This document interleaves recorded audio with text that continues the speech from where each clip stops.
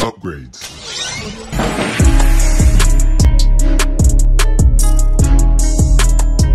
Welcome back, ladies and gentlemen, to another JVS movie review. Here we have one of the most anticipated films of the award season of the year. Basically, this is a remake of, of a film that generations of black people grew up on, and this is The Color Purple. This one is directed by Blitz Bazawule. It is starring Fantasia, Taraji P. Henson, uh, Diana Brooks, Colman Domingo, and Corey Hawkins. Here's a quick synopsis if, for some odd reason, you've never seen The Color Purple. a decade-spanning tale of love and resilience and of one woman's journey of independence. Celie faces hardships in her life and ultimately finds extraordinary strength and hope in unbreakable bonds of sisterhood. Now, if you've seen The Color Purple, especially the film, you come into this with expectations on what you're going to receive in this film. If you've seen The Color Purple musical, you can kind of throw out those expectations because you kind of already know how this film is going to move because you've seen the musical and you know the differences from the musical to the actual film. I think for an audience of people who have not seen the musical, this movie is going to be a shock to your system a little bit here. It, it's going to be harder to digest for those people to get into it. Now, just from a technical standpoint, and we're going to start with love because that's the best way to start, especially when you're talking about such a classic work like The Color Purple. Diana Danielle Brooks, who also played Sophia on Broadway and was amazing because I saw her on Broadway play Sophia. She's amazing as Sophia on Broadway. She's just as good in this film. She is the emotional center and emotional force of this film. And it's something that as years have gone by, the character of Sophia has become just that for the color purple. And Ms. Brooks knocks it out the park with her performance here. While for me, it's not remotely close to being on the level of what we saw Oprah do with the role. For its time, for where we're at now, it's a solid, really good performance. It really reminded me of uh, Jennifer Hudson in Dreamgirls, where it didn't necessarily blow you away, but it is a strong, powerful performance that is going to evoke a lot of emotions out of people when you see it. For me, unfortunately, that is where the praise ends for the cast for me. I think this is this is a film where it's so much to live up to.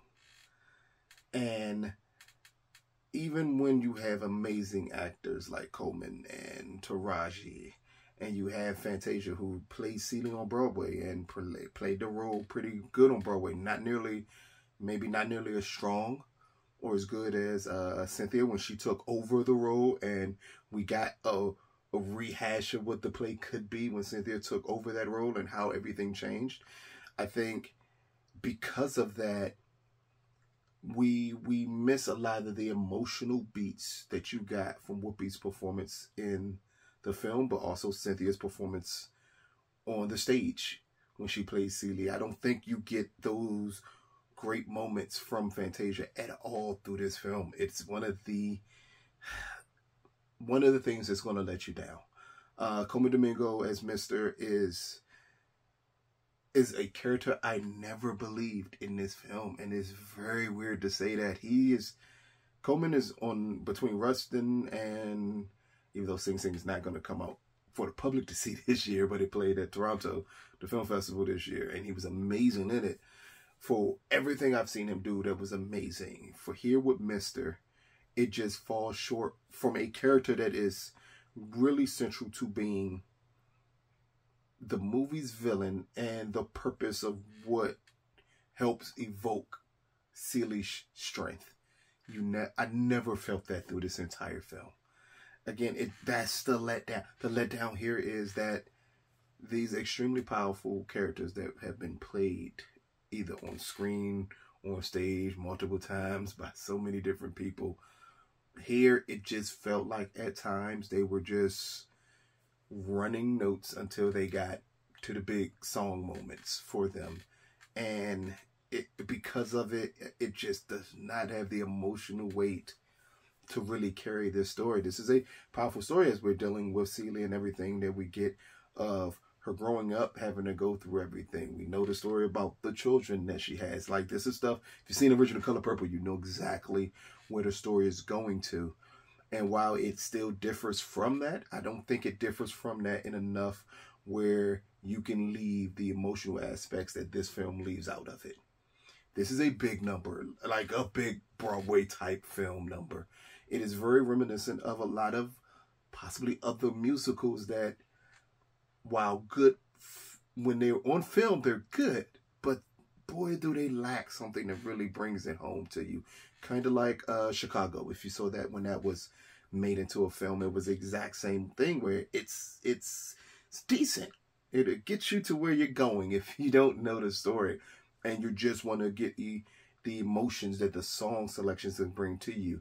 But when you look for the emotional weight for the characters to have, it is so absent. That's how the color purple feel.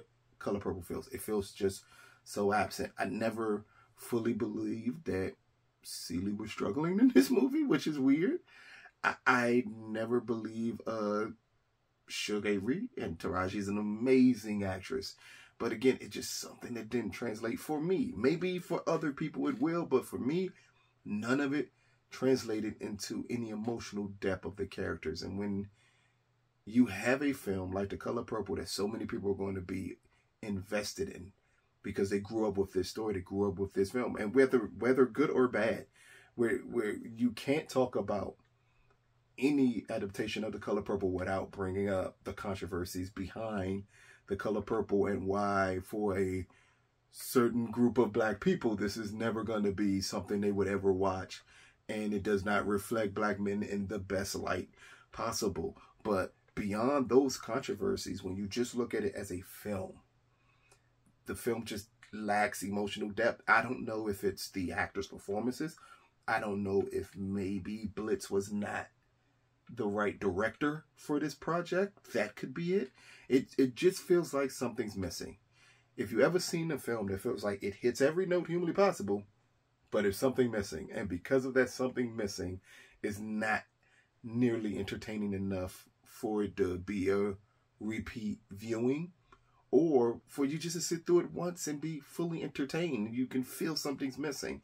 That's how this film felt. It always felt like it was something missing even down to a pivotal scene. If if you've seen the color purple and you've seen the dinner table scene in the color purple, and you know exactly the emotions that it, that are on display at that table, especially if you've seen the film, because there was a lot of emotion at that table in the film.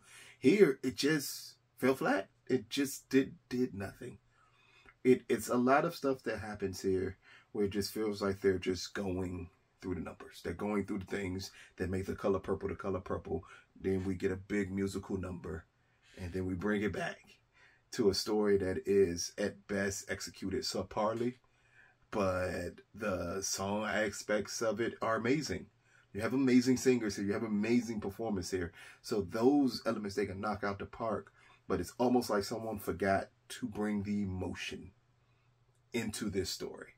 And without that emotion, I don't necessarily un- I don't know if this is a color purple that I could recommend anyone seeing because I felt nothing watching it. It just went like if if perhaps if I never saw the first movie and this is your first introduction to the color purple, maybe this can work for you.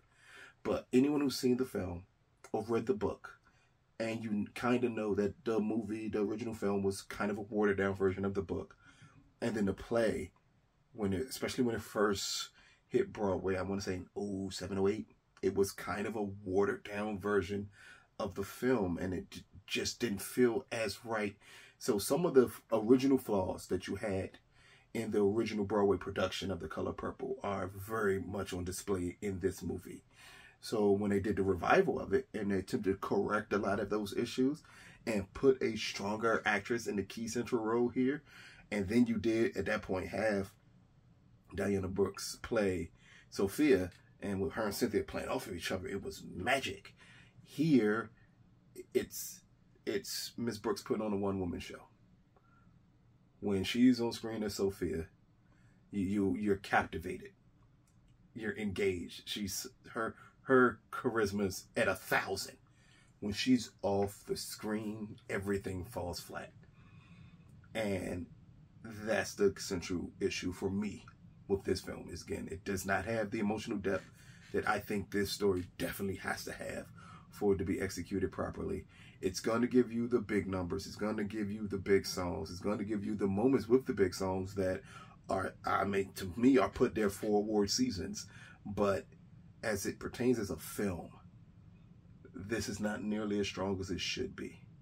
But it kind of goes to the trend of when you turn in these Broadway shows into films and that transition from musical to film, it it always loses something. You just hoped here because this started as a movie first that it was possible that we wouldn't fall into the same traps of a Chicago, The Nine, Rent, like all of these adaptations of musicals to film that they fell into that trap and then it was so so much lesser than what you ever expected it to be that it be kind of becomes something you may see in the moment and never watch again.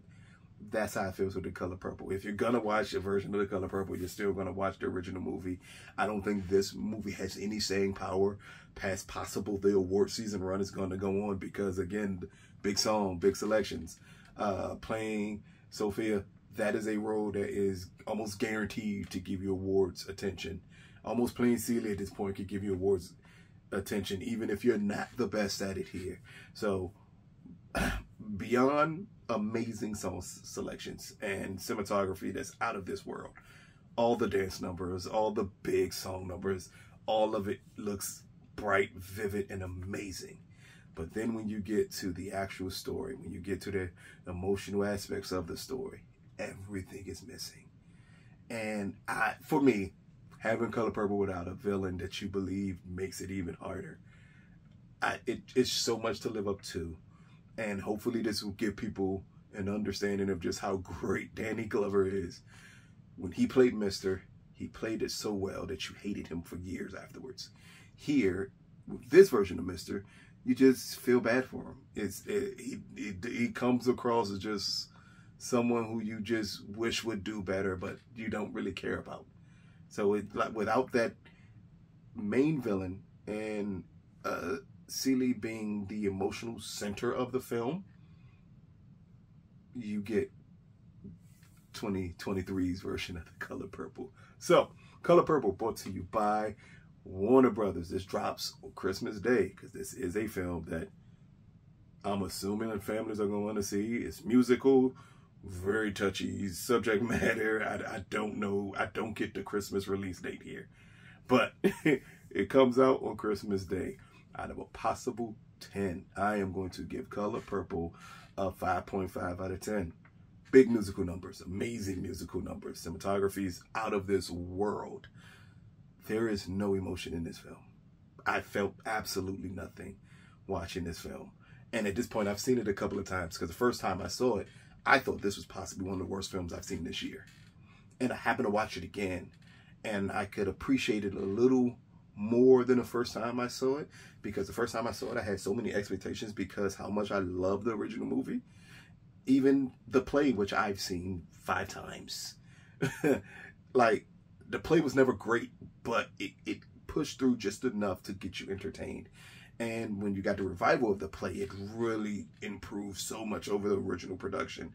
And here, it almost feels like they just decided, eh, we're just going to give you the original production, the one that, yes, it made money, it broke box office numbers, but it just didn't have the emotional weight for it. And this film suffers the same fate. But Check it out on Christmas Day when it drops and let us know what you think. This has been another JVS movie review. Peace, people.